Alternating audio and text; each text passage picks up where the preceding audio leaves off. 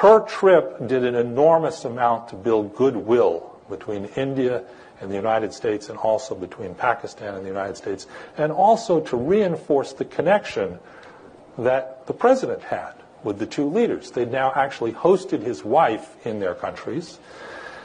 Last thing I would say on this uh, Nehru, um, I would say, was smitten by the First Lady.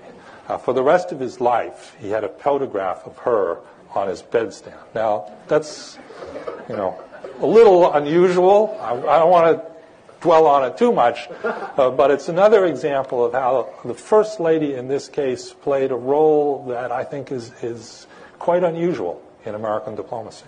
Let me, let me just add, ask you one thing. Talk about Galbraith. You, you, one thing I found really interesting in the book is he is essentially alone, by himself for the majority of the Indian crisis, providing Kennedy with information.